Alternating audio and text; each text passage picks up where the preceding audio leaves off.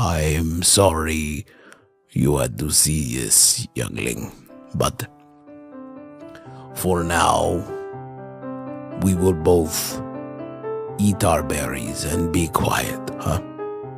I think sometimes they forget how to be quiet.